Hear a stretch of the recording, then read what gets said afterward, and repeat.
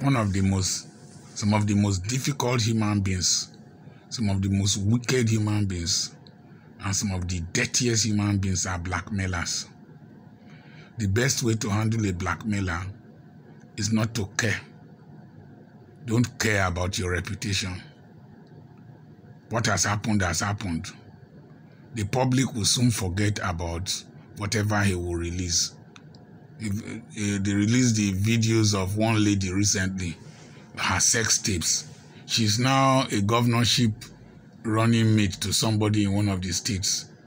Within a few weeks, people will forget what has been said concerning you. Blackmail is propelled by fear and gossip. People will say a lot about you, but if you don't care, after some time, the blackmailer will lose relevance. If you pay once, you will keep paying. Somebody wanted to blackmail me recently. I ignored him. I told him I will not pay. And he has backed off. I don't care. It does not concern me personally. I'm not an angel. No person also is an angel. God bless you. Don't pay the blackmailer.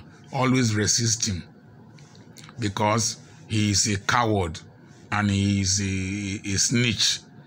God bless you. I'm your friend, Dr. Charles Apoki.